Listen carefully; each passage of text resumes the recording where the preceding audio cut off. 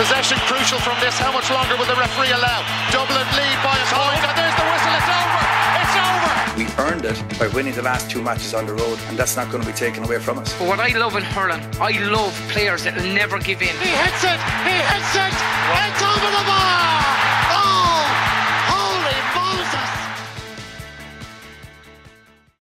Hello and welcome along to the RTE GAA podcast. I'm Mikey Stafford and I am joined this week by Rory O'Neill, Oisin McConville, and Donald Cusack. How are you doing, lads?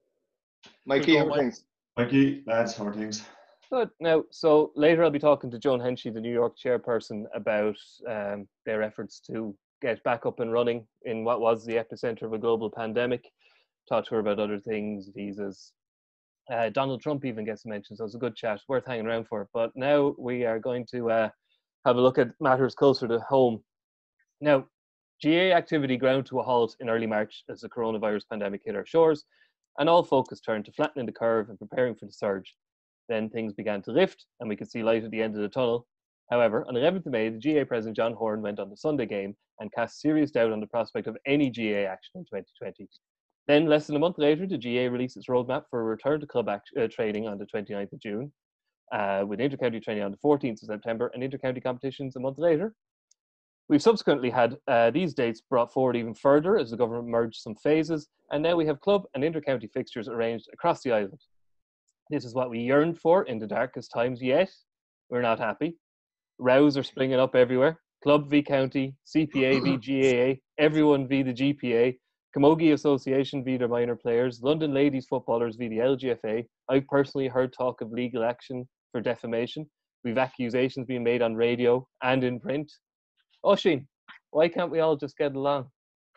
That's what, that's that's what I thought, and I think John Horan first of all used that tactic that a lot of lawyers use on uh, on very prominent Netflix shows, whereas um, tell people the worst and then give them a little bit, and they'll think you're the best in the world. And I think when I heard the news we were gonna have some sort of GAA, uh, I was jumping up and down. But we do like a moan, and uh, and issues started to arise. And um, I, my personal, um, as far as the personal impact on me, okay, so I am uh, managing a club team in Monaghan. Um, I've had more conversations with Seamus McEnaney um, in the last couple of weeks than I've ever had.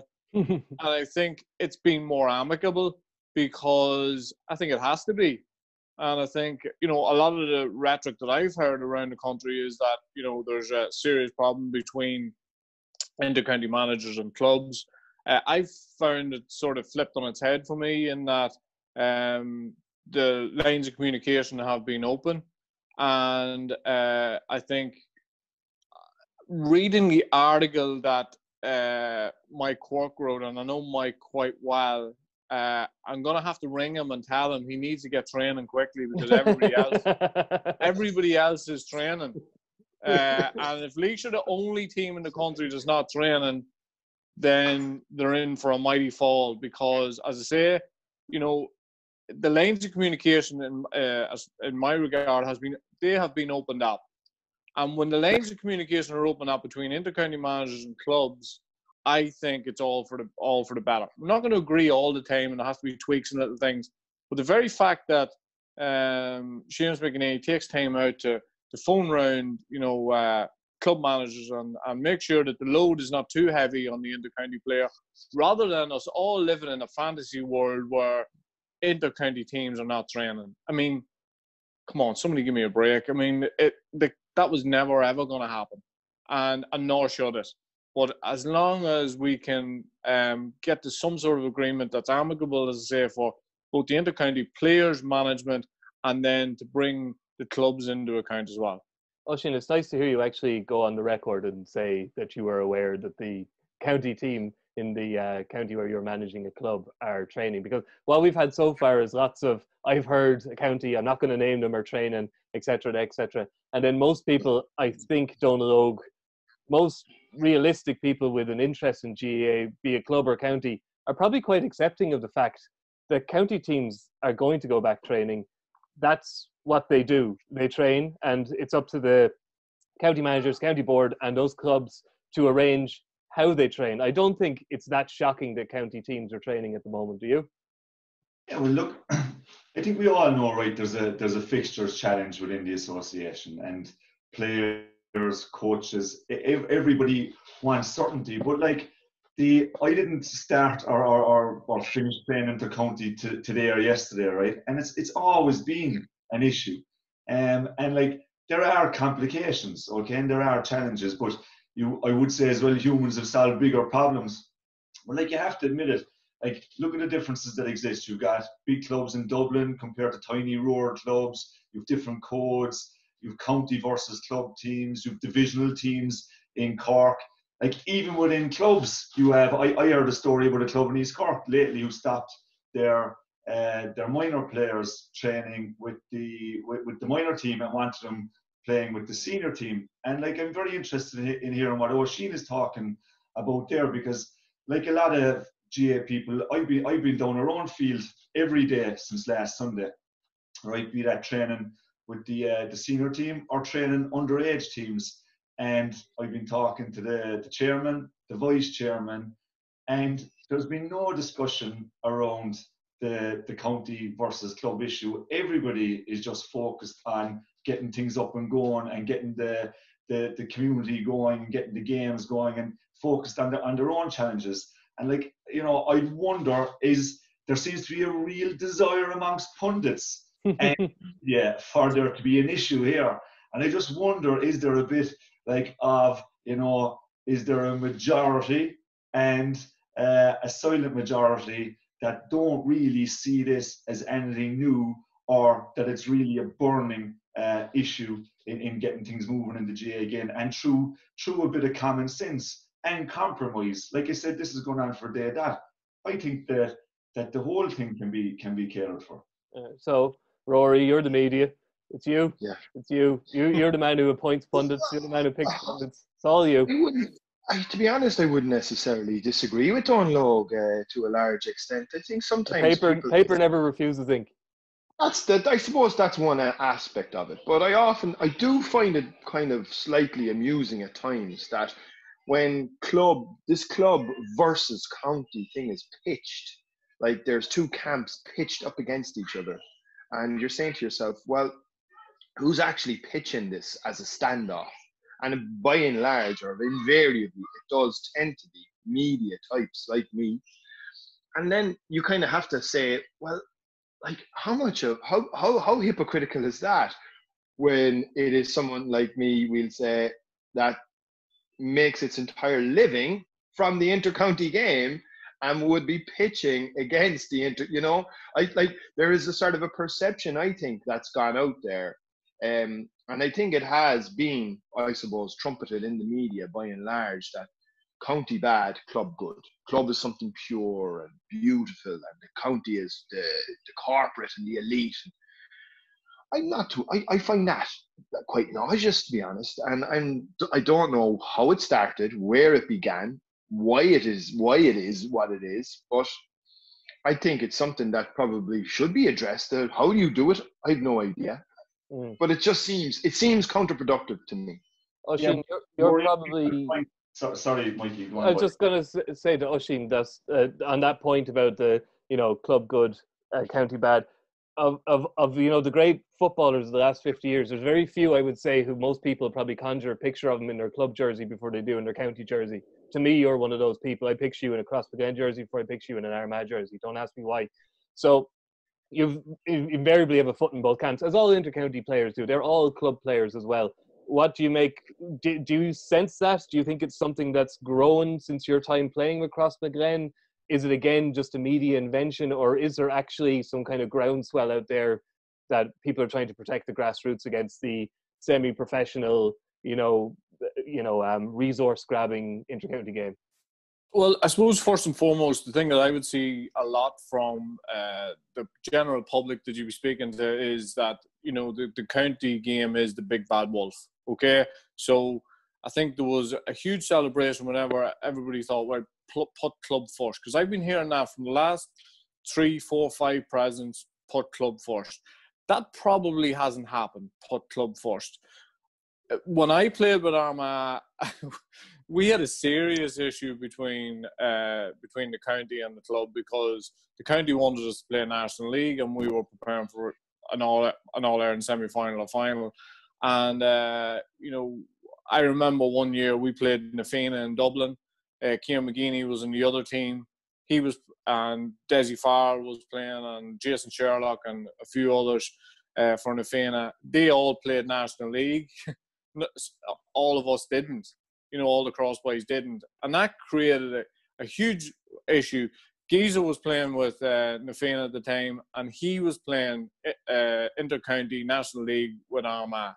That caused a huge rift, and uh, and that rift went on for some time. And so, in fact, some people may, would probably say that the semblance of, of that rift is is still hanging around there. But eh, a lot of this comes down to comes back to personal choice. Like you look at David Gough and you look at Jack McCaffrey and they're up now. So that's a personal choice thing. But in general, the GAA is about personal personal choice and whether you want to go and you want to play inter-county players, or you want to play inter-county football, or you want to play inter-county hurling. Because I played with lads at underage who were definitely better than me as a footballer, but didn't want to commit and go on and be in inter-county because it's easier to talk about it. It's a lot easier to talk about being an intercounty footballer or a hurler than it is to actually be that. Uh, I feel sorry for a lot of intercounty players, genuine intercounty players who are caught in the middle of all this, and that's what I found myself in uh, in the late '90s and early 2000s. We found ourselves caught in the middle of this, forced to make a choice between club and county. First of all, I've always thought that they can coexist without any major issues if people just sit down and talk about it. I mean, like I deal with intercounty players who are at college level who are playing intercounty college and are getting dragged away by clubs or under 21s or whatever. And do you know what? The sensible people, which are which is 90% of the people who are managing teams, the sensible people would sit down and have a conversation because if if I have a guy who's training seven days a week, probably no good to me and everybody want everybody has wanted that little pound of flesh. I think in that regard, things have improved. But as far as uh, perception of uh, what is going on with the inter-county game, while we're in a bad place press-wise, um, I think that a lot of a lot of people who are, you know, a lot of people that I meet will will repeat verbatim what has got, what has been written in an article at the weekend, and that they will take that as that is their opinion of what's going on. Whereas if you delve a little bit deeper into that, uh, I think you can um, you can be a very good intercounty player, and you can be still very committed to your club there are there are a few exceptions to that. There are a few lads who, who really have no interest in playing with their club, and and but those gays thankfully are few and far between. A lot of the majority of gays who are playing in the county football or hurling uh, are very keen to play with their club and do not want to be caught in the middle of, of what's going on at the moment. If we're if you're talking about like this is partly a matter of perception, Donald I'm interested in what you think of how the GPA have conducted themselves and because they seem to become a bit of a lightning rod as well. They've become and maybe maybe that's on purpose. Maybe they want to be that you know they want to be that umbrella body that people can attack instead of attacking players because i haven't heard anybody speaking out against the GAA player but the gpa have said that there's a sustained negative discourse surrounding intercounty players and they're walking a bit of a tightrope saying no you shouldn't go back training before the 14th of september but we want to make sure that there's insurance cover if you do. That's a very difficult tightrope to walk. And I'm just curious, like, did you envisage the GPA getting involved in fights, arguments like this, and how do you think it's going for them at the moment? Yeah, well, just just Mikey, I'm actually president of the the GPA, right? But it's, sorry. it's, sorry, it's very very much an, an honorary role, Yeah. right? Uh, you're correct. I was uh, involved for for many many years uh, as chairman and, and, and served in, in different roles and extremely proud uh, to be president and, and proud of, of my time um, uh, working for the players through through the, the, the GPA. But like what I would say is that the like and, and, and I'll get to that right in terms of that specific question, but the it's just it's I think Rory touched on something there that there's there's this kind of a, a, a perception being put out there that in some way the club player is almost holier than the intercounty player. But like it's I, I would argue, you know, and, and, and maybe it's not popular at the moment, right, to be making those arguments, but the, the county game is every bit as integral and a historical component to the GAA as the club game. Like, and it's it's vital in terms of showcasing our games, the provision of an elite arena for our players. Like, what do we want to say that we don't have an elite arena involved in our association, so you should go away playing other sports? I think absolutely we should be catering for the elite aspect of our sport and be, and be proud of it. And I would argue that the county is as essential as the club themselves in terms of the unifying effect on communities and even the sense of pride in place that it offers. Like it's and then not to mention the income for building grounds, the grants, the coaching officers. I think you touched on it there, the, the layups, the heroes. We know how important that is to the to the game. The lads to present medals at the end of the year. And Rory, you said it. A lot of the people who are making the most noise at the moment are actually people who make money or trying to make money on the backs of these very same players. And I do think we need to be very careful because if some of these people have their way, the GLB is anonymous as the League of Ireland B. So like, very careful in terms of that whole territory, right? And like what I would say about the GPA is that, you know, I hear, uh, you know, being said over the years about uh, you know, the, the image of the, the, the GPA and it being a lightning rod and so on like that. And, uh, but like, it was it's not about the image of the GPA for me. Like the GPA is about helping its players have a proper life and sports career balance. And like, I know that might sound like buzzwords, but if that's your life, that balance is hugely important. It's about making sure the players were treated with dignity and respect and care, right? Nobody suffers in their life for playing the games that the players are ready to transition into life after the games, that they can pick up their career and offer leadership in clubs. And like Oisin touched on it there, we talk about offering leadership in clubs, I was part of a, of a group in the mid 2000s who were the, at the vanguard and very proud of what we did for, for player welfare. But when I think back on those guys, like if I even look at that team, right, and if I think of Diarmuid O'Sullivan, Diarmuid O'Sullivan has been involved with numerous underage teams, with club and with county. He's still playing senior hurling for Cloyne, and he's involved in coaching the Cork senior hurling team. Pat Mulcahy, Newtown Shandrum, CIT, whole wide range of teams. On the other side, Wayne Sherlock, cornerback, has been involved with the Blackrock underage teams over the last couple of years. Also involved in under 15 and under 16 Cork teams.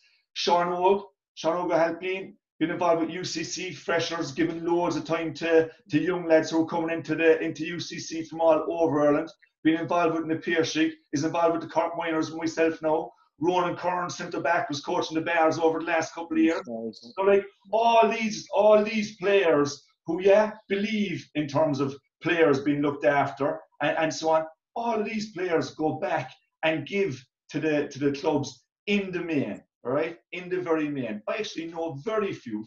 I'd find it hard actually to, to call out some player that I played with that actually isn't given back into the uh, into the association. But like in terms of the GPA, and, and I think the GPA's position is is clear in in, in what they're, they're they're speaking about. They were part of the committee that decided the game shouldn't go back until the 14th of September obviously within that committee, there was a lot of compromise and give and take had to be given by a whole wide range of stakeholders involved in, in the association.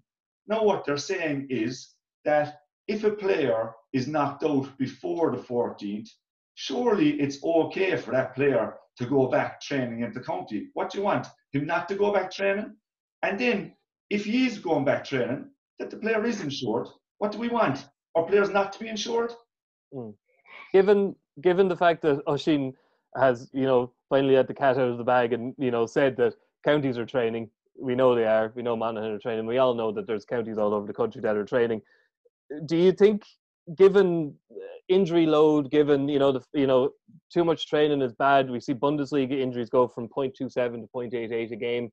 do you think the GPA should have just come out, Donald Logan said, no, let's stand firm here. Let's let's stick to the GAA's plan and say 14th of September and advise your members not to train before the 14th of September. Is that something the GPA should have considered?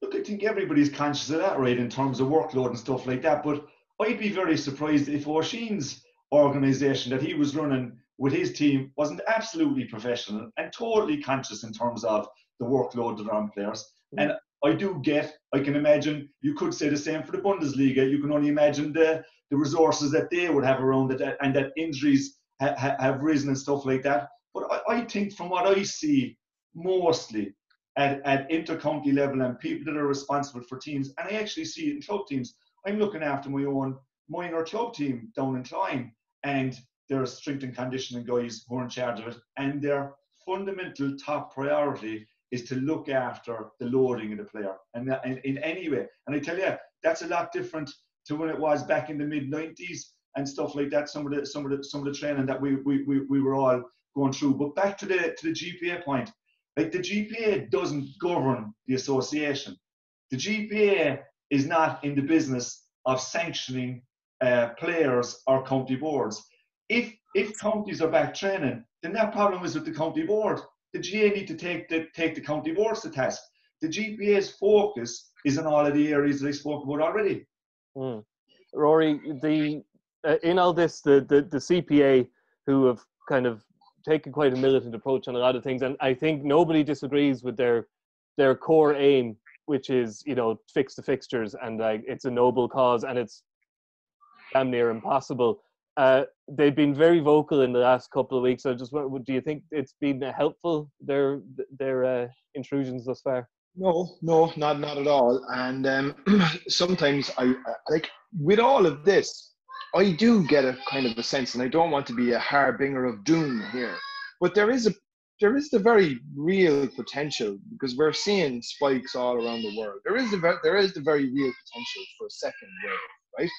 And if a second wave were to come, what you're effectively left with then is is is akin to two bald men fighting over a comb, because that's because because what we've what we've ended up having here is is potentially a row about something that may not ever occur. Because you would imagine if a second wave does rock up onto the scene, then the club will be pulled, and I can't really see an envi- or envisage an inter-county, eh, you know, packing in grounds, and you just can't see that happening. So, I, I, like I suppose maybe in a wider context, and this kind of goes back to what we spoke about yesterday in the lead up to this, when you see words like civil war being used in the Irish Times, and hmm. then the Club Players Association, as you said, coming in looking to try and you know plant their flag, all very unhelpful. And I'm, t- I'm trying to say to myself, but all possibly very needless as well, you know, and unnecessary and it could all become all all become very moot if if if things transpire the way we don't want them to work out. So yeah, yeah I just you, I would just hope that everybody mm. like what what the one thing that I hoped for in in a pandemic was that context would be like people would develop context and would realize look you know that we all just need to you know take a, a, a sense of, of ma- making do yeah, but like, but I think what's actually happened, and maybe this kind of possibly feeds into what's happening with the Black Lives Matter movement in terms of the numbers of people. I think when people have nothing to do, they will, you know, I think I think the, the sooner we get people back on pitches, training and managing, the the the the, the quicker the row the, all the rows will stop. Uh, that's an interesting analogy. Um, sorry, sorry, yeah. Yeah, Oisin, um, the you you're painting a picture of a relatively harmonious situation in Monaghan. I'm wondering what it won't be. It won't be harmonious now. Now that I've let the cat out of the bag. we trusted you, McConville. We trusted oh. you. Um, but do you think it was necessary for the GAA to come in and say, you know, issue sanctions? Supposedly there are sanctions. You know, bringing the association into disrepute or something. There are sanctions already in the books that could have worked if they had wanted to lay the hammer down and say to a county board, if your county team, if you can't keep control of your county team and stop them from training before the 14th of September, we will sanction you. Do you think that should have been done? Was it necessary, or would that have poured petrol on a fire. Well, here's the thing: if if you're gonna, you know, if you're gonna tell counties to do something, if you're gonna make a rule, then it's best to follow through on that. It's absolutely half-arsed. Okay, what what has happened uh, as far as you know inter-county teams going back? Because believe me, uh, if you were sitting in that room with that committee, I can guarantee you, every single person in that room knew that inter-county teams were not going to sit on their hands until the 14th of September, and nor should you expect them to. You know, it's a knockout competition. I mean, they like they've got they've got two league games. They need to hit the ground running. The best way to hit the ground running is to get some preparation on. Um, and I think you know if the, G, if the GAA were going to bring in this rule, well then yes, there, there should have been sanctions, but there's not. And and as a result of that, uh, all you have to do is look, and I think it was this morning where I read all the different dates of the of the county finals, and you look at you look at counties walking with the county, you look at the counties working against the county. Believe it or not, they're inter county teams, and then you look at the ones in the middle where there's a little bit of compromise from both sides.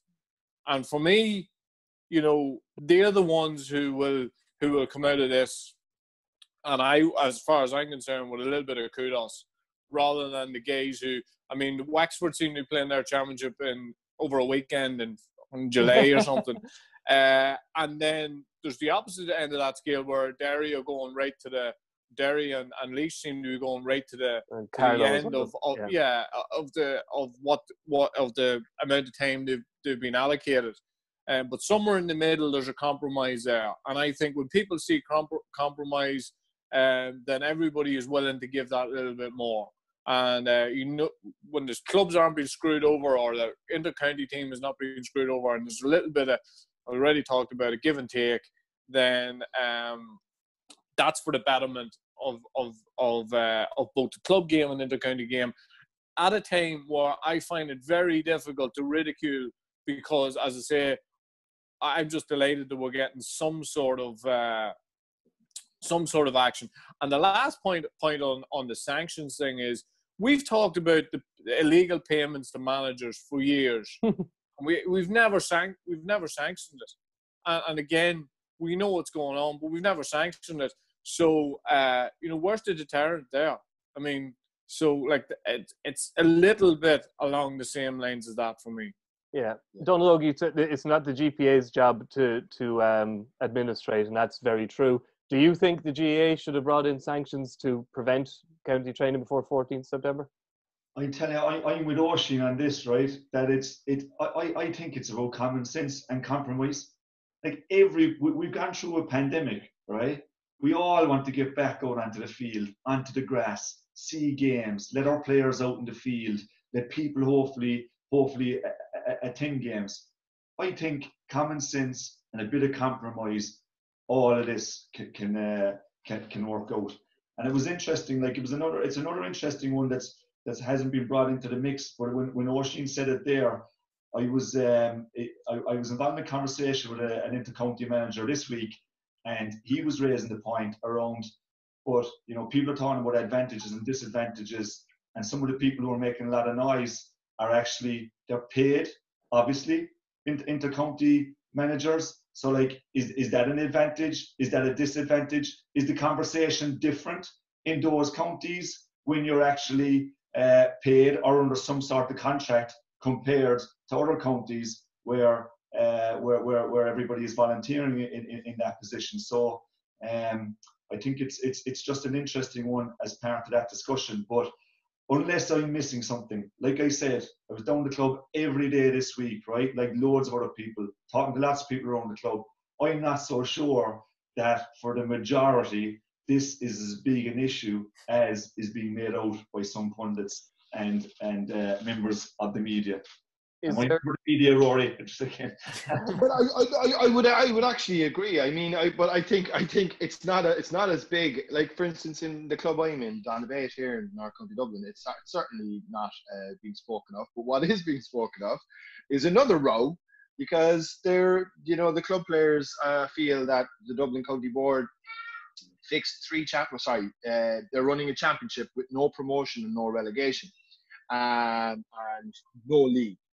So effectively, eh, you will get a minimum and potentially maximum of three championship matches, but no promotion or relegation. So if you take the senior football championship, senior one, out of it, where there is no promotion, because obviously that's the top grade, all of the other competitions where promotion and relegation has been removed from, they effectively become glorified a bunch of glorified glorified challenge matches. But I know, and not that's not to knock the Dublin County Board. Again, they're in a situation like everybody else where there has to be an element of give and take but it'll give you an indication, I suppose, really on what's consuming people's minds and thoughts. It certainly isn't whether or not Diarmuid Connolly is going to tag out for Vincent's or play with, you know, or play or, or be or be with Dessie Farrell. It's, you know, I think the national media sometimes focuses on things that might not necessarily be as prevalent on at grassroots level in terms of the conversation can I look at a, a, a, good news story or a potential good news story, Oisín, that um please that, that's there? I know it's it's a novel idea.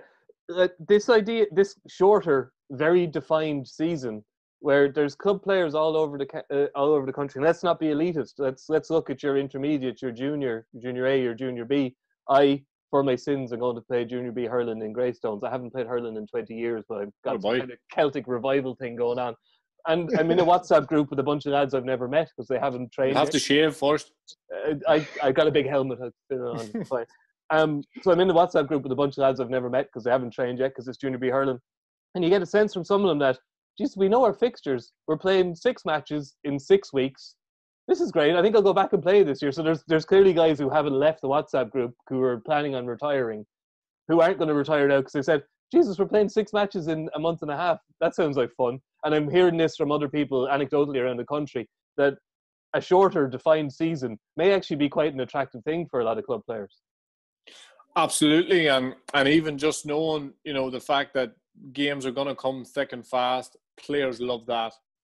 I mean, I see Donal Óg on his head there. I, like I wasn't somebody who loved training. I trained because that was part of the deal to get playing at the weekend, and uh, and I think you know club players definitely love that. I'd love the clear defined season. And one more thing on that, I think we have stumbled across something here, which the GAA should look at as far as fixtures is concerned. I think playing intercounty football later in the year I think is something that may help solve the issue with uh, with fixtures.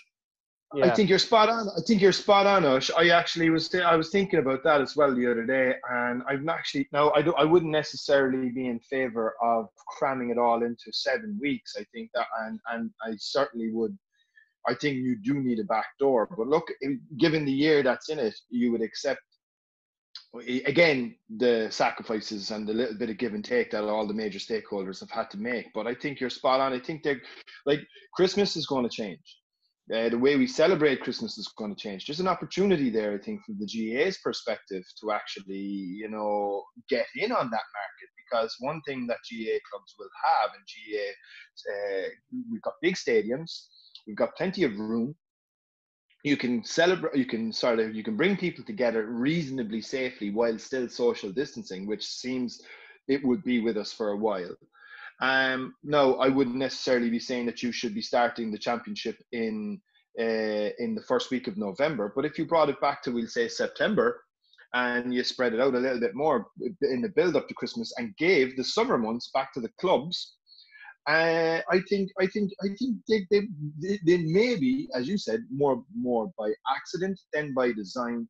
But they may have stumbled upon a big potential solution here, and I think it's definitely something worth thinking about because, you know, like the, the intercounty. To, the big worry, I suppose, historically, and the reasons why we played the intercounty season in the summer months was because pitches and the quality of the grounds and all of that. But sure, like the big the big grounds, the Páirc Uí Chaoimh, Croke Parks, uh, Thurles, Gaelic grounds, um, are the athletic grounds another fantastic one above in Armagh. All those pitches are fantastic uh, 365 days a year now. So that shouldn't be as much. So I definitely think there is something in that. Mm. I don't. I, I I can't see Donal Óg wanting to play play the the intercounty championship as winter hurling. But it, do you think Donal Óg there could be something in spring and early summer for club and late summer and early autumn for intercounty? Could that work? Like it, to me, it's it's people just want certainty. Players want to know when they're playing, and that's all we all want. And like it goes back to, and I know it mightn't sound that exciting. This is going on with hundred years. Like I can remember the mid thousands when I was involved in, in Cloyne and I, I, was playing for Cork. I was coaching the, the Cloyne senior team, and players would come and they'd say to the to the management of which I was part of, uh, I really need to, to know when we're playing the game because uh, I'm under a bit of pressure at home. For example, you know, uh, my partner wants to go away, and they said they, they might ask, "Do you know when we're playing?" And we would say, "No, we actually haven't a clue." And then they'd say, "Okay, so I have to go back now and say we can't go away on holidays." And when I'm asked, "Well, when can we go?" I have to say, "I haven't a clue either." Like, all we all want is certainty in terms of the calendar. So anything that helps that, bring it on. We'll we'll leave it now in a second, Jen. So just go to you, Oisín. Do you do you think this does seem to be a particularly virulent? No, I won't use that word. It's a, it's a particularly kind of toxic row at the moment, whether it's purely in the media or whether it is seeping out to grassroots. Do you think anything will change in the next couple of years in terms of the club v county relationship, in terms of the calendar? Can you see anything changing and do you want things to change? I think we all probably want things to change a little. Yeah, no, just on the calendar. I mean, like I see National League, um, club, uh, and then Championship following. I think we can we could we could maybe do that. That gives you an opportunity also to fit in a little bit of college football, which is dying an absolute death at the minute. Um, or hurling. And, and, and, um, an, and, and an important uh, an important asset for the GAA as well, the Sigerson and the Fitzgibbon. Really, really important. Like something that should be protected. You know. So. Yeah, no, absolutely, and and uh, and as I say, it, it's it's literally on its last legs. Anybody who's involved in uh, in college football or hurling will, will tell you that you know it's it's it's not a good place to be at the moment. Uh, they've condensed it beyond reproach and like uh, even just get to get players to commit and uh, and try and serve as all the masters at that time of year is almost is near on impossible now. Um, I suppose I keep looking back to club rugby in Ireland and, and I look at uh, you know how the how the game just sort of died overnight with with uh, with professionalism. I look at uh, I remember going to a game, uh, Dungannon were playing Ballymena on a, on a, Saturday. I remember going to that game, you're talking 10, 12, 15,000 people at it. You go today, you've got 10 or 15 people. And uh, it died an absolute death. I think there was, I, I sensed a little bit of a change in that there was a lot of guys who were, as I say, wanting to play into county football. And the, if given the choice, they could leave that the club scene behind. I actually think that has changed in the last uh, six or seven years. I think play, uh, uh, players see the importance, of, you know, of, of playing with their club, and I think uh, you know I don't see this as a row which is going to rumble on. Uh, as long as we get a handle on it and we keep the lines of communication open. Uh, I, I, I don't, don't know how Donal Óg feels about it, but I think the GPA has a role to play in this. I think uh, they they have a massive role as far as like you know if they're not interested in the PR, if they're not interested in uh, how they are viewed by other people, that's that's fine. But they've got to be more proactive in uh, you know as regards um, inter- uh, as regards fixtures, as regards um, looking after players, not just what players are doing at inter-county level, but when they go back to their clubs, how they're viewed, uh, first and foremost, um, and how they approach the game. And I think there is a bit of a responsibility on the GPA to help lads with that. And I think that would help the whole PR situation hugely. Because as I say, a lot of people uh, at grassroots or, or on the ground have their knife in the GPA and they're not aware of all the good work that's going on. I mean, I've I've written articles about uh, how positive certain things are within the GPA, and nobody's ever said anything to me. I've written I've written a few which uh, I suppose were quite cutting towards the GPA, and I got an instant reaction to it. And for me, that is for me the way the GPA has changed down through the years, because I was at that initial meeting uh, in the Wally Park, and you can let me know what year it was. I think it was 1999 and around then, um, and we were all there for the same reason because we wanted things to improve. We want we didn't want to be out of pocket. We wanted to be uh, looked after in certain ways. That wasn't happening at that time. The GPA have come in and that has happened. The mental health side of things, they're all over that. I can't I can't tell you how good that has been. But when people hear figures bandied about, the GPA is getting X, 2.5 million or whatever. That's the thing that really rails people at, at grassroots and the people who are going to watch club games or the volunteers and all that sort of thing. And and you know what? if you break if, if, if somebody would just break those figures down or show these people what's going on i mean i think that people will be a lot more accepting of what's going on within the gpa and and as a consequence of that uh, the, the way the gpa is viewed would be a lot better than what it is at this moment in time but the, the final, but the final point, the final point, Rory, is is the is the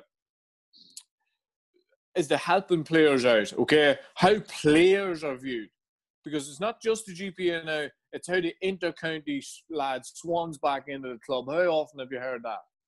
You know? And inter-county players can be helped with that. They're getting helped in so many ways, but from a PR point of view, for the GPA at the moment, it does seem to be a bit of a disaster. So instead of being reactive to things, maybe a little bit more proactive. I mean, they should have been all over all over this stuff at the minute. You know, the uh, the intercounty fixtures, the the whether you can go back to train. I mean, they should be dictate. I think the GPA should be in there dictating a lot of what goes on there. Donal, you, you, you were very heavily involved in a, in a in a GPA that was a campaigning you know, and almost I described the CPA as militant earlier. You know, that's maybe a little bit unfair, but the GPA were that they were they were in the GAA's face, and he got things done by a variety of methods. Do you do you think that there is a time that this is the time maybe for the GPA to go back to that a little bit, be a little bit more combative? You think this is something that they should be getting involved with?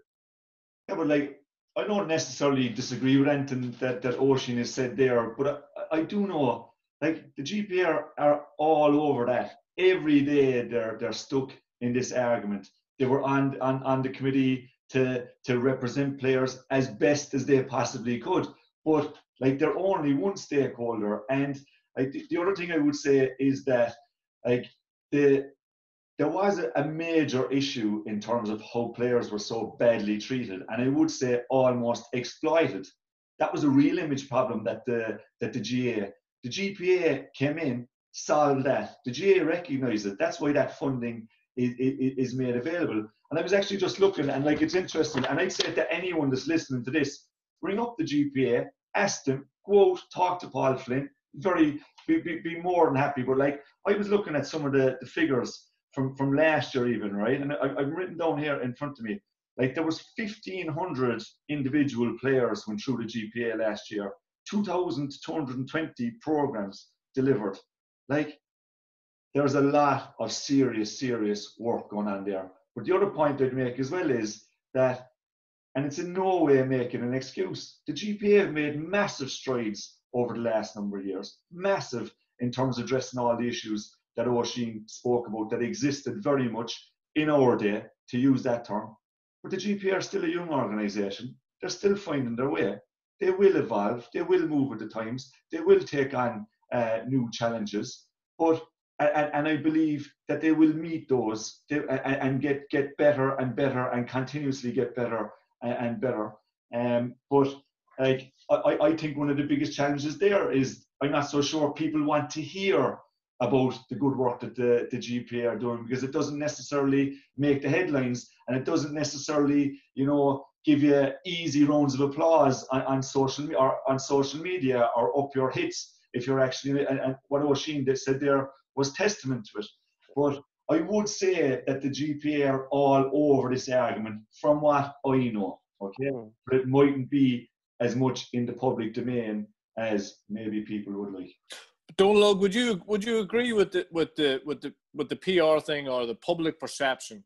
I mean, like if you if you look at the, the There- very is there an image you- problem? Is there an image problem? if you if you look at the very top and you look at the very bottom, and the GPA seem to be sandwiched in the middle. I mean, like in the north, uh, there's a lot of organisations which have been disbanded over the last number of years. A lot of serious organisations. People are talking about disbanding the GPA. You know, I'm waiting for somebody to say that. I'm waiting for somebody to tell them to decommission. Do you know what I mean? Like, like they don't even, ha- as far as I, as far as I know, to my knowledge, they don't have any arms. But if they do, because because you know disband is quite a, it's quite hefty. Like when when when Yeah. you when you think about it, it's quite it's quite you know hefty language to use around an organisation that's supposed to be helping players. You know. Yeah, but Oisín, does people talk about disbanding the RTE within the government? Do you know what I mean? That doesn't necessarily mean that that that that that that should happen, and I'm sure you wouldn't get agreement here, right? But like, does anybody does anybody want things to go back to the way they were, where players were not represented? All those things that we were talking about were not happening. Players weren't getting expenses. Players that were getting injured weren't being looked after. Like, does anybody want to go back to those days? In answer to your question, the pr- there probably is. There's probably a lot of people that you know outside of the inter-county players and and the families who know what they're going through. There's probably a lot of people out there who I think you know if you said that to them, they'd say, "Yeah, absolutely." Yeah. So Oisín, exactly. That's the right the reason for long long live the GPA, right? if, we want to, if we want to get into that territory, long live the GPA and may they for a very long time be looking after the uh, the welfare of players. And of course, it's not perfect. Of course, there's areas they could get better in. But I would say to anybody, anybody that's in the media or anything like that, bring up Paul Flynn, go and see actually what's happening within the association, and give the constructive feedback. No better person and no better group of people who just want to serve the organisation. Like what motivated? It goes back to again what motivated you to go to that meeting uh, back in Washington. What, what what motivated me? What motivated a load of our of our colleagues to invest our time into it? We just wanted what was best for the players, and I think that's a I think that's a really noble cause and one that should be uh, celebrated um, rather than the opposite. I I feel I have to ask this question of everybody because it just uh, there's a perception, and again, we're only going on perceptions because I have no massive opinion on the GPA, but you do get a perception that they've they've gone from being kind of the uh, rabble rousing, you know, the the guys upturning tables and causing problems for the suits in Croke Park to being the suits in Croke Park. Don't know that that's probably part of it, but on the flip side, by the sounds of it, do you think if intercounty players threaten to strike over something like the 14th of September, say, no, we're going to listen to Croke Park, we're going to. Do you think there would be support for county players, or have county players become almost a body, a body of people who people don't want to hear hear their opinions? Is that a harsh thing to say? So, Mikey, in reality, right, the the the, the GPA represents the inter-county player, right? There's 2,000 inter-county players within the association. Every one of yourselves here, right, know the challenge that that brings, right? When you are seen to be representing a small number of people, you are going to face all of, of, of what gets thrown at the GPA. It is like that. That's that comes with the territory of representing what's considered a minority and is uh, a smaller number within the association. Mm, okay. Oisín, you went to that meeting in 1999. Were you expecting to be joining a, a militant union? And were you happy with how they kind of how they went about their business for those first few years? And when you got expenses, when you got what you were looking for, did you expect them to kind of slink away, or do you think the GPA should still have the ability to mobilize like another like a union and call a strike if that's what is called for? Yeah, no. I, look at in 1999, it was it was slightly different because you're trying to kick down a door. Uh, that door doesn't need to be kicked down anymore. I Mm. mean, they've been welcomed into Croke Park. I've sat on the committee with, with representatives from the GPA, and and very much they get the point across and they're listened to, and and it's it's taken on board the same way as as uh, the other people in, in that room. Uh, I just like maybe at times when needed that do, do you know kick up a bit of a stink, make a little bit more noise. You know when the fixtures come out, not complain about them, but to have to be more forthright about uh, what exactly you want, rather than you know because because that was that was the as as far as I could see, you know that was the case for a number of years in that you know we seen uh, fixtures coming out and GPA would say we didn't agree to that. We had had a survey. Here's the sort the survey says sixty percent of our players didn't want this, but at that stage the horse is bolted do you know what I mean? They, they, they mm. can't have a, there's no say at that stage. Whereas if you're sitting in that committee, that's when you can have the impact. Whether that takes a strike or whether that takes throwing, throwing the toys out of the pram or whatever it is, if you feel that strongly about something, well, then you cannot let, uh, if you feel as if the, your playing population, the majority of your playing population, not going to be happy with something, then you need to be more forthright in those meetings rather than to, if you can continue to bow down all the time, well then you're only going to get to the stage where we're at where people think, well, they've got inside the doors now, and you know they're happy. They're happy with their lot. They're happy with their their uh, with what they're getting as far as finances and, and as far as they're seeing in what's happening. But you know, uh, from the outside looking in, it doesn't look as if there's much uh, toys being thrown out of the pram or kicking and stomping them whenever. Um, you know, the the real issues need to be need to be uh, need to be sorted out. And the biggest issue in the GAA has been fixtures for some time, and the CPA have have talked more about fixtures uh, since they've been. Uh, I, I don't know how long they're around, a couple of years maybe, but they have talked more about fixtures and made more sense about fixtures than GPA have in in twenty odd years. Well, Oisín, the GPA didn't travel the journey they tra- traveled from that meeting you went to in 1999 and get to the stage they're at now when all of those services are there for players because they were continuously bowing down, and you know that. Well, I'm not. I'm not saying that. I, you know, there was there was there was rebel rousing. There was kicking down the door, and that's that has. Yeah, must admit that that has stopped now. And Oisín, and and and and and and I'm telling you, right? I'm telling you that you know that well, right? That there was a lot of there was a lot of hard work, hard arguments, hard yards put in by a lot of volunteers. I do get what you're saying around that perception. But if an agreement is made, of which there is an agreement in place between the GPA and the GAA now, then you need to align to some of that agreement. Of course you do, right? that that just comes with the territory. We we we all wanted to get to the stage where there was a certain provision of finance from the association that could be put in place for the players that is there now that wasn't there previously for all the right reasons that we're saying. So there's a pay the payoff for yeah, being but, inside the tent is that you you you kind of lose the ability or you lose the power to as the analogy we keep using kick over the tables I get the point that's being made. Like, yeah. yes and no. It's not as if that uh, that I, I, I, I haven't been, you know, involved in, in, in that territory over the years, right? Of, of fighting for the uh, the player. But I also get the point that with when you get rights, you get responsibilities. And I'm in full agreement. And I, I, I don't think the I don't think that um like if I meet a player and lots of players would have heard me say, saying this, right? If I meet a club player and they give out about the uh, the fixtures, I ask them two questions. I say, number one, did you join the CPA, right? And number two, did you contact your club secretary, right? If so, I, I think that most or, or the, the diff, there's very little difference in position between the GPA and the CPA, and I think the CPA are dead right. I signed up as a member of the CPA myself because I believe that the fixtures issues need to be addressed. Absolutely. Okay. Well, I have to say I've thoroughly enjoyed this. You know, we, we came on to talk about rows and we ended up having a little bit of a row ourselves, which probably is Uh, uh, as it as it should be. Um, That wasn't that wasn't the row, Mikey. no, no, no, that oh, wasn't a row. that was a broadcastable row.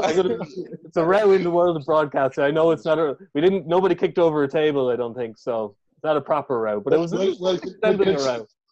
Considering how much rowing is going on, it was probably no harm that we threw one into the mix. Listen, I'd like to say thank you to Oisín, Rory, and Donal, and I will be back shortly with an interview with Joan Henchy, chairperson of New York County Board. All right, lads. Cheers. Cheers, boys. Thanks, lads. Easy. Good Good guys. It was great. that. Well done. Cheers, Take care, guys. lads. All the best. All Cheers. best. Bye bye. Bye bye.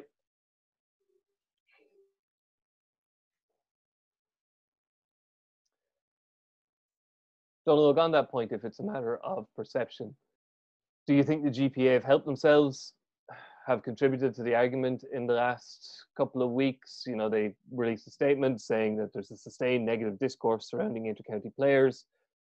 They're trying to walk a tightrope and saying that there should be insurance cover for before the 14th of September, but also are saying that there should be no training before the 14th of September. Do you think they've been constructive in this argument thus far?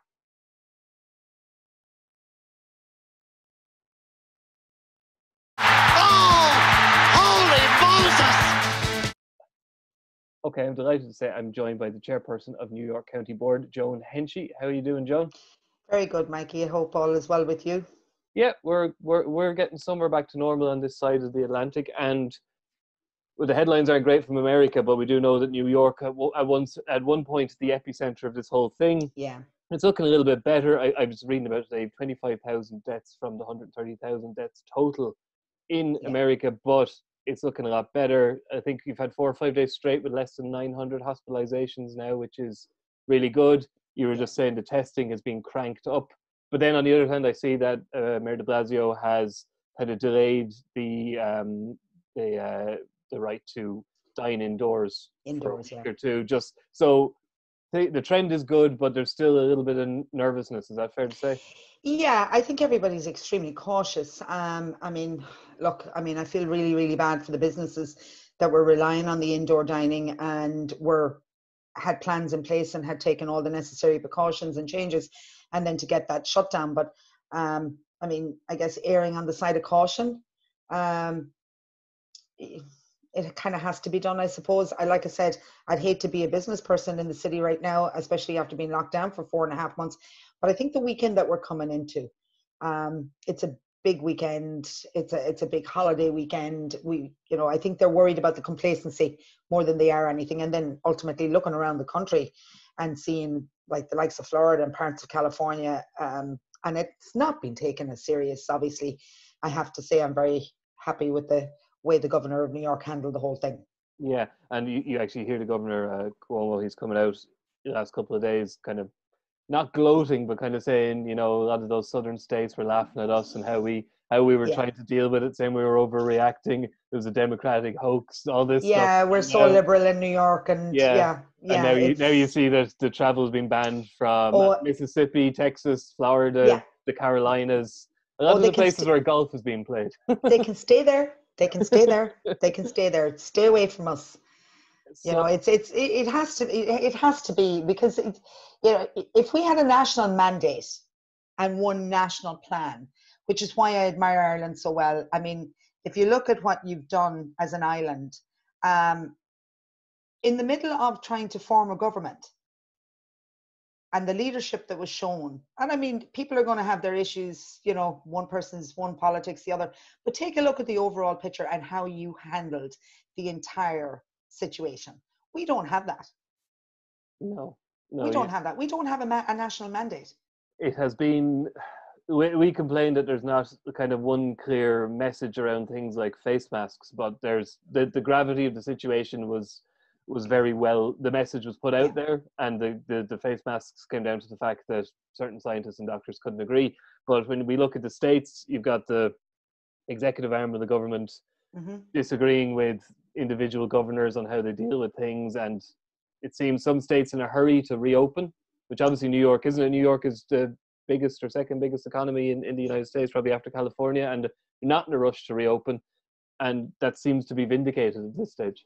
It does, and I think people, as much and all as was frustrating, and again going back to the business people that own um, large, you know, businesses in the city. I mean, their rents are not, they're not cheap by any means. Um, and like I said, I worry for them, but um, they don't want a second shutdown. Ooh. You know, they certainly don't want their business hampered because we couldn't wear a face mask. Put it on. You know, I. It's 100 degrees outside. You don't like wearing clothes either. You have to wear them put the mask on. It's a simple it's a simple thing. If that came from federal government down, you know, we know it works. Um, again, like I said, they're not, you know, they're not the most comfortable to wear, but you wear them. You have to walk into a store, you have to, you know, get out of your car and pump gas. Put it on. Yeah. It, you take it right back off. You come back in your house. You, you, you know, you take it off. So it's it's you're being respectful to other people as well as yourself. Mm. And I think it's the only way to go right now. So, given that level of compliance, which is good but could be better according to your governor, and the fact that the, all the trends are going in the right direction, but there's still a bit of nervousness. What's the state of play with the GAA? Obviously, we know you've no club v county row to be getting on with because you were removed from the Connacht Championship, and you spoke this week sensibly saying it was the only decision that could be made. You've you've come to terms with that. So your focus now is on the club game. Have you been able to arrange a championship? Yes. Um, so we spent, I mean, you got to love Zoom meetings, but sometimes they don't necessarily work. So thank God for Gaelic Park, where you can have an actual meeting with your management and stuff and spread out. I mean, the place is huge. But um, yeah, I have to say the, the New York uh, management and CCC, and we've met and we've had numerous meetings. Um, so we, you know, took the New York or the obviously the GAA template with regards reopening and stuff, but we had to, we can't take that. Um, we had to obviously edit that and uh, work with the New York State guidelines um, because we're not in the same region as you. Yeah. Um, so using that template and stuff and put together a, a 10 page reopening document and putting necessary um, procedures in place and obviously common sense regulations as opposed to rule. We, had to do it this year. Um, we sent out an email to the clubs before we started and we asked um, what their thought process was. Would they be interested in playing? And we got a resounding yes. So from there, we moved forward and we put together a plan. And watching the phases and where we are, obviously, GAA Gaelic Games would not be recognised under state governance. So you have to figure out where you fall in under recreational sport. So we're somewhere between soccer and basketball. So we fall somewhere between phase three and phase four. We're not quite four, we're phase three, but we might be phase three and a half. So we erred on the side of caution and pushed closer to the phase four. Um, What phase are you in right now? we're in three. You're in three. Ju- So, Where we're in three on the sixth. so soccer is 6th of soccer July. is back next week. 6th of July recreational sports. No collegics, no college, no hmm uh, you know schools or anything else, but recreational, yes. So we're classified under that. Um, you wouldn't say that in Ireland that we're recreational. That's you know that that's just blasphemy. But uh, yeah, here we are. Um, but yeah, so we, we fall somewhere in there. So we decided to to push and, and obviously err on the side of caution as well to allow a little bit more time. Um, and then also adding, you know, taking that 14 days from the 4th of July as well. hmm So we're back on the 17th in and around. Um, and that's the plan provided nothing changes. And if something shifts and changes, we'll have to roll with it and go with it. But at least we have a schedule. It's very condensed, very Mhm. fast. It's just, I mean, we're just look- championship, no league. Just championship and it'll be straight rounds and there won't be too many in the line of qualifiers and stuff. So it'll be like semi final and final. You know, if you're not in the top three or four, you know, you're off the schedule and stuff. And then obviously the protocols that we've had to put in place are, are, are pretty intense because we're very large board. Mm. I mean, under the senior jurisdiction, we've 40 teams which we're running. Um, and, you know, we have a team in Connecticut, we've two teams in Jersey, um, and we've players throughout the tri state area, and they're traveling. So we've tried to be as smart as we possibly can. Um, I know our neighbours in Boston and Philly yeah, would love if there could be some type of a competition because obviously they're, they're not as large a board. Um, but we're not going to run the risk of having players coming in from outside the tri-state area, nor do we want our players traveling outside the tri-state area. Okay. So you're running. Is it a group? Is it kind of a round robin first first round and then quarters, semifinals, finals finals kind of thing? Uh, with the senior championship, it's there's only five teams there anyway. Um, so it's an easy enough one. Top teams to the final. Team two versus three for a semi. Uh, intermediate similar. There's four okay. teams. Top four. Junior the same. Junior B is the same. And our hurling this year, all right, is a little bit different. We decided there's six teams there, um, because a couple of teams have both junior and senior and because we don't have sanctions coming or we don't a lot of our a lot of our visa holders during the course of the lockdown returned home. Um, and they're still very much at the mercy of a reopening there. Um, so as not to put pressure on them and, and, and, that we allowed the teams to amalgamate into one team for just this particular year. So we're down to six instead of eight teams at the moment. So everybody gets a chance at playing for the senior cup. So it's the top three will qualify for that and then the, the bottom three for junior but everyone gets a crack at the at the senior cup which isn't which is good because we've a lot of young irish american that are playing junior hurling. So the idea of putting the the, the, the the biggest prize in front of them is is intriguing. So I mean, I, am looking forward to that. That's fantastic. That's really interesting. I might talk to you about that another day. The uh, there's a little bit of a certain kind of a Celtic revival, is it? Young Americans yeah, taking up hurling yeah. rather than football. Well, it's it's you know we've been working. Um, my former chairman Lawrence McGrath was very very good with me. He gave me a lot. He gave me carte blanche really with with the county development and stuff and um, with our two county development officers, Mickey Quigg, obviously, and um, Simon, you know, just strategically trying to figure out, okay, well, you know, we've such a huge turnover on our senior intercounty players, and that has that's not sustainable anymore. And what can we do? How can we do it? You know, and we started these county development squads to the point that we started it four years ago now. We now have 14, 16s. Um, and then obviously the county development squad, we had seven of those young lads were going to actually make the starting 15 for the Galway game, which is really exciting. Um, and to see them because they're there. It's yeah. there. It's just tapping in on it. And instead of having 80% turnover of players, now we'll only have 20% because these are home based players. Nobody, that jersey means as much to them, that New York jersey, as it would to a young man in Kerry or Dublin. That's their county jersey. Right. So, and we're not going to be as reliant on the on, on, on the transient player basically. Yeah. On the other hand i did read a report i think it was on the 42 talking about the the longford longford new york and how they they said they might struggle to put out a team or at least a competitive team mm-hmm. without the you know the summer transient you know the, the irish guys coming over. Yeah. Obviously everybody's in the same boat this year so there's nobody has a, an influx of players. So, it, has there been any of the senior or intermediate football clubs who are struggling to, to field the team? Um, no, um, they all managed. We have a draft system here. Um, okay. So if you play on a, um, a junior division, you can draft up to intermediate or senior, and you're restricted on the number of players. You're allowed five or six 50% of them must be American born. And again, it was it's to encourage the clubs to, to, to rely on the home base team as well. But our dependency on sanctions has reduced mm. by 60% in the last five years. Um, so that's not there. But with regards to the transient player coming out on a visa who's transferring out here, yeah, the, a lot of clubs are reliant on that to a point.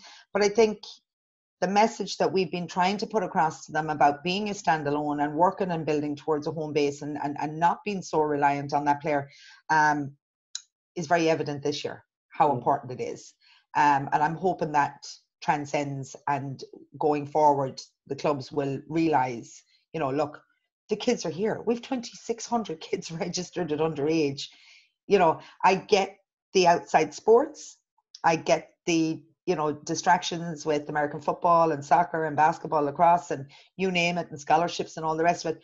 But it's an, it, it's it's imperative that we work and holding that core of 25 or 30 percent who are staying here and make them part of and uh, showing how valuable they are. Yeah, and even and if, for a lot of reasons. Yeah, even if there wasn't a pandemic, of course, the the number of sanctions coming in would probably have been down this year because of the ban on J1s until the end of 2020 at least. obviously, it sounds like that's not something you're terribly worried about, you you're happy that New York GAA can stand on its own two feet without the need for you know plane loads of Yeah. Irish lads coming over for the summer.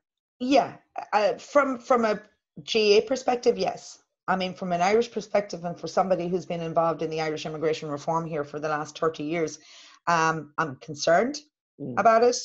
Um, I'm very concerned with the fact that it's legal immigration that has been stopped.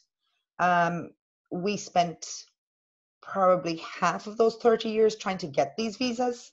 Mm. Um, there was such a fast pull without any consultation with any of the coalitions with regards to these visas. So there is serious concern for us right now um, from an Irish perspective, and obviously from you know some of these kids come out here and fall in love with the place and are looking towards futures here and stuff. Um, and to be able to do that legally is very important. Um, I'm sure you're all sick of listening to me ranting on about Sláinte 2020 this year. Um, but five groups of us got together to assist and help um, our own people keep a roof over their head and food in their bellies and looking after children. Um, and it's it, it- it's been an emotional roller coaster on that particular one.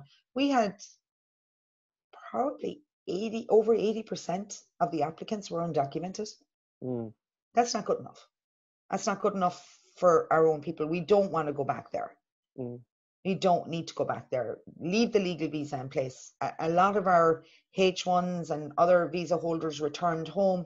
And I don't know if the Irish people are aware of this. And I don't know if people in general are aware of this. You're a legal resident in this country on a visa. You're considered a guest. You pay taxes. You're not eligible for unemployment benefits. Right. No, I was unaware of eh, that. okay that's we saw that in such a huge scale this year these are people that are paying the brightest of the brightest on h1s the brightest of the brightest going into tech companies they're very important for high tech companies they offer them the visa the visa provides the health insurance so companies it's a win-win for them they don't have to provide healthcare um, americans are not taking these entry level positions because they're looking for jobs with healthcare so the tech companies win all over the place. These kids, these young men and women are not eligible for unemployment benefits, even though they're paying into our tax system.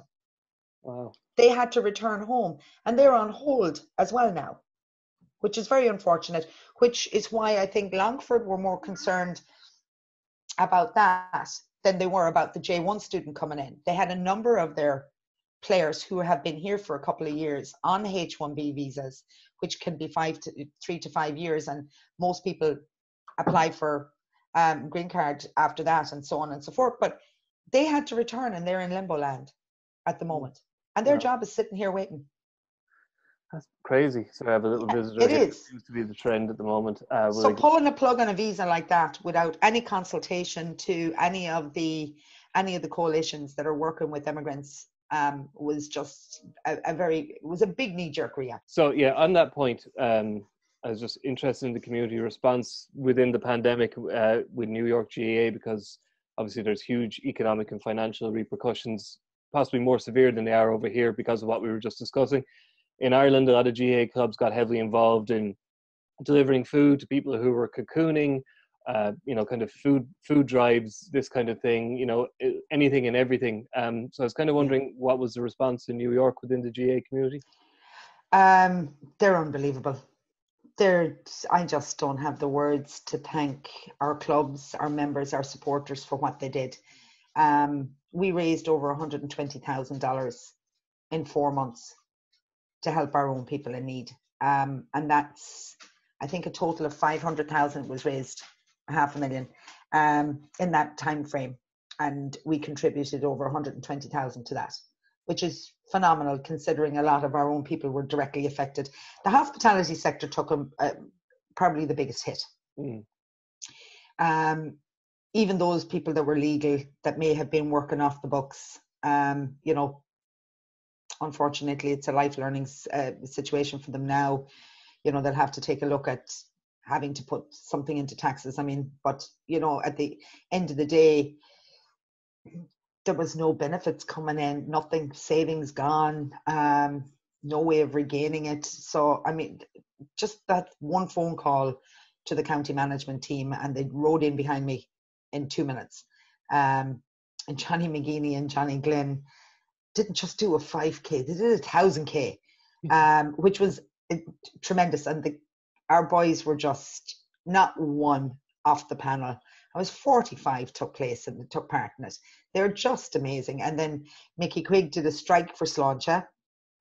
Um, they had to do, I can't even remember how many strikes off. A, so I had to open Gaelic Park and we had them strategically placed around the place, hitting the sliotar off a wall. Um, and people wondering what the heck is going on here. But um, and they contributed as well. And amazingly enough, um, and I won't mention the names because I have a confidentiality agreement uh, with Sláinte anyway, but um, I wouldn't give their names anyway. But four of those young men that did the strike for Sláinte were recipients of the fund and they gave right back. Oh, wow. Um, I don't know if I can say, um, okay, I can, I guess. There was one young man, he happened to be, and this is a very, very funny story. Um, he was the very first applicant to the fund. He happens to be a member of one of our clubs. and he got assistance, first applicant, first first check, and got back to work a little bit sooner than most because there was, um, I guess, they were able to do the uh, takeout um, orders and curbside pickup or whatever you want to call it. Yeah. So he decided to help us back, and he wanted to raise five thousand dollars, and he came up with the the most unique fundraising idea I'd ever heard of. Um, you may have to edit this. It was called Chicken Shit Bingo. No, I won't need to edit that. Carry on. Okay, so a hundred boxes framed out with straw, numbered one through one hundred. You bought a box for a hundred dollars. Fifty percent of it, first prize winner, and the other fifty percent went to Sláinte. And he needed the chicken to poop in one of those boxes. And whatever box the chicken pooped in, you were the winner. So he did a trial run on Friday night, and the trial run ended with the chicken pooping on two sides, but not quite in the center of any box. And got up the next morning, she'd laid an egg. so I don't know where the chicken is now, but anyway, we finally he finally got it done anyway, and there was a five thousand dollar donation back into the fund, and he was the very first recipient. But where he came up with chicken shit bingo is beyond me, but we never laughed so hard in our lives, and we really needed that giggle at that particular time. But um, it just shows you that Irish pride is a killer. Mm. Irish pride is horrible. Um, you'd lose a limb before you'd ask for help. Yeah. Um, and, and and telling people that it was okay, but to see those people wanting to give back because they got that was is tremendous. So you know the GAA family is just phenomenal, and you know, I know we have our critics and so on and so forth, but I dare one of them to challenge us on when it comes to family. We know what it means. Yeah. Uh, just finally, then, I guess that, nobody can ignore the fact that it's been a tumultuous few months around the world, but in America, it's been more tumultuous again. George Floyd, Black Lives Matters. It's been a tumultuous four years in America, and I was just wondering, from the perspective of a, a, member of the Irish community in New York, it, do you feel the country has changed over the last four years? Do you uh, like, and what what do you hope for or expect from the upcoming election? Because I wouldn't normally ask somebody who comes on a GAA podcast this question, but it's quite clear that you know you have views on matters of society and immigration, and I would imagine politics. So I'm happy enough to ask you. I don't feel I put you on the spot. Uh, oh, my father was a senator for 20 something odd years, so politics kind of runs in the blood. Um, I'm going to refrain from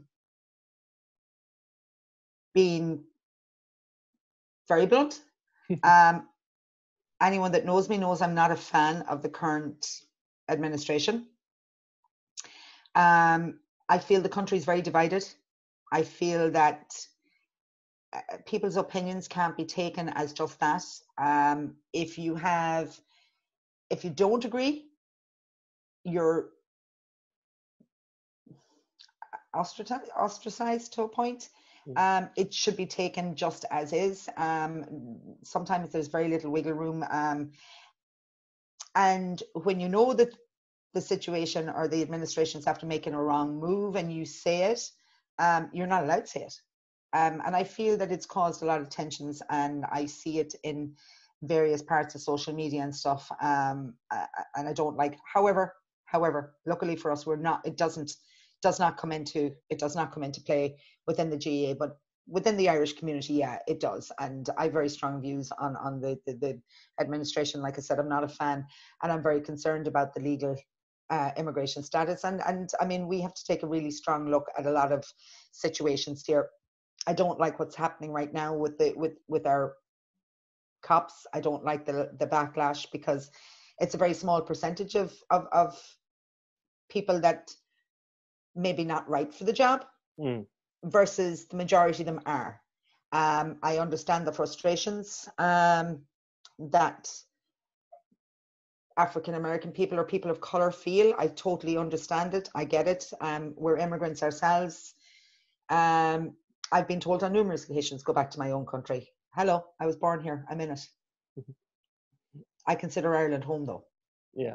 Um, but because I speak with an Irish accent, go back to where you belong. Um, so you get you you get it. Um, you get a bit thick-skinned with with a lot of it. Um, however, I am very concerned. We have um, a little bit of a task force in place. Uh, we'll be doing a youth forum hopefully in the fall, um, where we have. I, I'm sure you know Aaron Cunningham. Mm-hmm. Um, Aaron has um, is getting on board with me. Um, conversation was had with Aaron, um, and thankfully he's not incurred any animosities or any racial slurs or anything like that. He's been considered one of our own um, in and on and around Gaelic Park and on the field. So, you know, I'm very, very grateful for that. Um, but we have a number of our members are cops. So, sorry, my phone is, is ringing there, but um, um, I'm very grateful to say that the um, a couple of our NYPD officers and Aaron are going to join us and we're going to have a little conversation with our youth and stuff but yeah so i the concept is to to you know make sure that we have open dialogue um, because we do have an awful lot of our members that are married to, to, to women of color and, and, and men of color and i want them to know that they're very much part of our our of our GAA society and they're very part of part of our com- community and they're welcome and they want and wanted and I want our children those children to know our games and I want them to play Mm. And I think it's awful important that we start that now. We don't seem to have the issue. However, I don't want to, I want to make sure we don't. Um, so it's a start in the right direction and having these open communications and showing that someone like Aaron can play alongside two lads that are wearing a, a, a police officer's uniform and can coexist and there's respect and um, and that this is doable and that you know we as the GAA don't accept and will not put up with, and we will not tolerate any of it. Um, and I think it's important to do that now. Um, you know, right now the tensions are very, very high, yeah. very, very high. I said at the, I said at the start, you don't have a club v county row to to to occupy at the moment, but it sounds like you have plenty else to occupy you, and it's it's yeah. it's not quite the the average county board chairperson role. It doesn't sound. No, I suppose, but then when you're in exile, you kind of really don't. I mean, you know, it's it's you're working or you're involved at some level. And the GAA outside of Ireland, um, we're very much the largest organisation outside of outside of Ireland. Um, so I mean, people immigrants and, and, and our own people, they gravitate towards the GAA. So, you know, we're networking for work and for, you know, housing or whatever it is. Somebody knows somebody. And even in, cracks me up in my own house. Um, you need anything done. Can't call a contractor. Stop. I know a fella. and that fella knows a fella. But they're yeah. all Irish you know yeah. everybody's irish. You, you just it's just who we are. Um, and i think that's very it's very evident in in, in new york but and, and throughout the united states wherever there's a, a gaa organization they pull towards it. Um, so we're very blessed on that level i think too because we're very you know the broader community gravitates to us and and we are leaders here. Um, and we do need to set that example and we do need to set that right tone and it's very important that you know we're streetwise to everything that's going on and not just put blinkers on and just think these things are not existing. Um, just let's make sure they're not. Okay. Joan, it's been a pleasure talking to you, and uh, wish you all the best with your championship and with everything else you have going on there. Because And, and like you've fingers, got a lot on your fingers crossed, fingers crossed you let us back home soon. Fingers crossed.